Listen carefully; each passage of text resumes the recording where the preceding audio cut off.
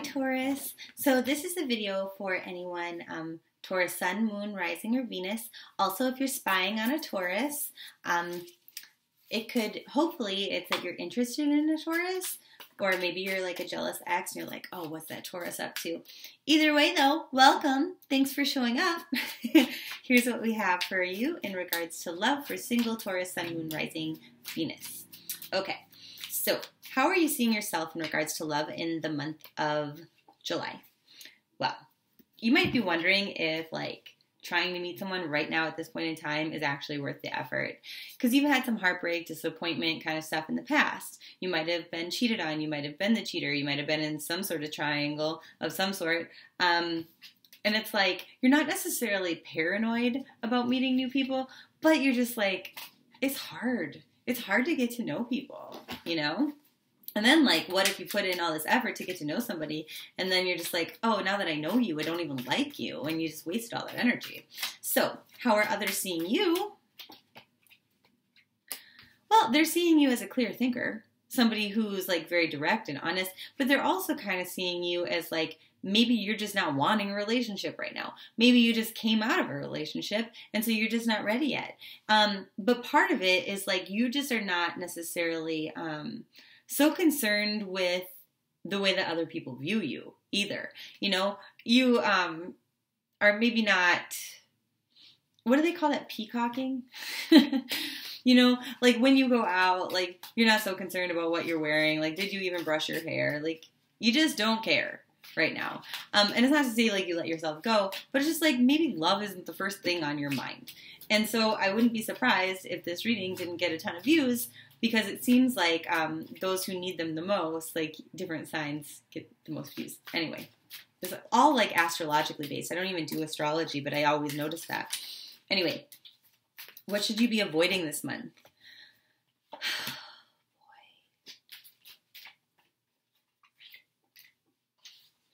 All right. Here's what you need to avoid you need to avoid staying stuck in this bullshit cycle that you're stuck in. It's a choice. And if you just came out of a relationship and still kind of lingering, you know, like you're still talking to them sometimes, probably not good. Because here's what's happening it's making you not feel like your radiant self. It's making you um, doubt your worth, doubt your value. Your it actually might be making you feel stupid, really, because okay, let me give you a scenario based on these cards that were here. I've already mixed the other ones into the deck, but think about that Three of Swords that was there. You're not done talking about it. So you have to relive the fact that you were cheated on, which makes you feel ugly. It makes you feel stupid for not realizing it, or stupid for giving them another chance and staying in there. Or maybe you were the other woman, right? It makes you feel stupid that you can't let this shit go when you're you know, partner or whatever, your lover decided to stay with their spouse, kind of a thing. Okay? It's not good to stay in this cycle, to keep that communication open. And maybe you're doing it out of selflessness. Maybe you're like, well, I want to help you, right? I care about you. Like, there's maybe they're emotionally manipulating you, where they're like, oh, well, this is really hard for me just to, you know, every day be talking to you and then not talk to you anymore. And you're like, Okay, cool. So now basically you're saying that you want me to take on your problems to help cope help you cope through this. I'm not done coping through it either. And unfortunately, when I try to help you, it makes me feel like shit. So, this needs to end because here you are focusing on the heartbreak, the sadness, all of this shit when there's still good things going on in your life and there are good things about being single and you're not looking at those and so the, you're just going to start to feel worse the longer that you stay in communication with this person or even if it's not another person it's a mindset that you have not yet released i would say taurus I don't mean to be like, you know, yelling at you. Sometimes I'm harsh in readings, but it's because it's important. I care deeply about you. So here's what, what I want you to do. Um, in the description box below, there is a link to a Cords of Attachment video um, that I made. You don't have to watch mine. You can. Um, but just look up Cords of Attachment and how to cut those. We need to cut those because this is just like icky. And you can cut cords. Um, you know, these are to other people. But you could cut cords of attachment to like thought patterns too. I don't see why not. I never thought of that till this moment, but it just came into my mind that yeah, you absolutely can do that. So every time that you're having like fears or negative thoughts about your situation, I want you to think about two or three positive things. But yeah, why don't you try to cut that that negative thought pattern?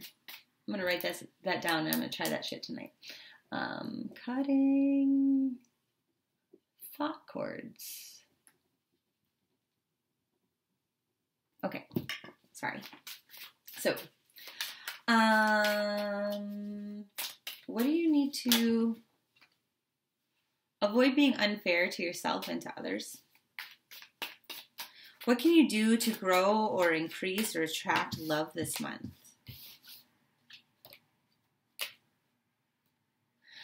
Well, I hate to be the bearer of bad news, but I don't think this month is your month. Here's why. Because you haven't made um, good investments in love this month, you're not likely to if um, because maybe you haven't let go of things from the past.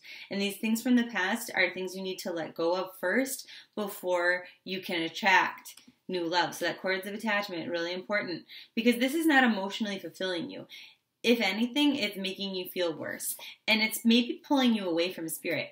I would venture to bet that a lot of Tauruses right now are just sitting in their like ickiness and this sadness and this heartbreak and not turning to spirit, not you know, getting tarot readings and things like that because they don't want to actually hear the truth about what it is that they need to do. Okay, which is to release the past and step forward through a new door. But we can't open that. You know, it's like when two doors are on a corner and like you try to open one and then the doorknob gets stuck on it and like neither door will open is because you had to totally close the first one so that you can open the other one and walk through it. But otherwise, you're just trapped, right? And they're battling with each other. And new stuff is trying to come in for you, new really good things. But because you haven't let go of this old crappy stuff, there's no space. So basically, what it's saying is until you do that, and so that's your challenge this month, you're not going to find that person that you grow old and retire with. You're not going to find your soulmate. Because the person that you're wasting all your time and your energy, your thoughts on, your love on, is not worth it. So there's that. For those, those of you who don't have exes, though, that you're dealing with, like, you cleared that garbage. what do you have? As far as what you can do to attract love.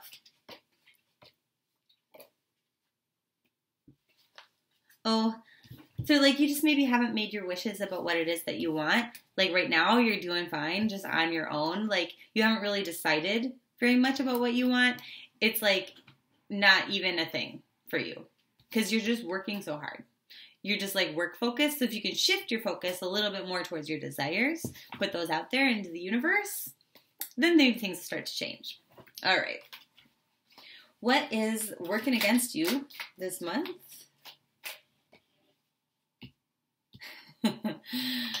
okay. So what's working against you is exactly what we're talking about. That you're hyper focused on this little globe in front of you. This little thing. Like, this is my love life. This is my sphere of um, things or people or potential that I could love. No, it's huge.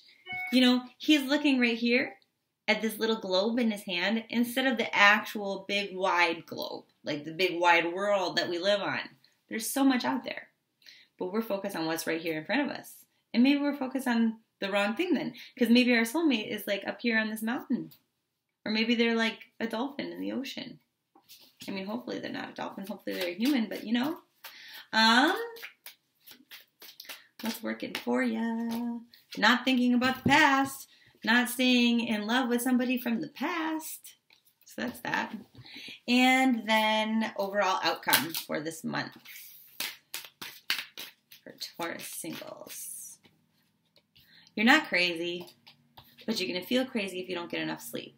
So I think this is important because as we sleep, we heal, especially if we make prayers um, before we go to sleep. Like you can ask your angels, um, and you can do this in your head, um, or you can say it out loud. You can be like, hey guys, can you work on healing me from this? Can you give me messages through my dreams as I sleep?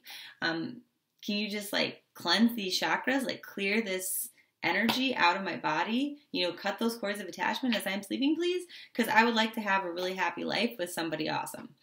Um, okay, so what is our overall lesson for the month of July, Taurus? Friendliness. You are able to recognize traits in common with another in order to forge love based connections. So, see, it's not totally hopeless starting as friends, making sure that you're friendly, that you're not at work all the time, that you're going out to create conversations because you can find some commonality and end up in love. Awesome. Love and light. See you next time. Bye. Thanks so much for watching my video. Check out tarot-blee-accurate.com for a personal reading. Follow on Snapchat, like on Facebook.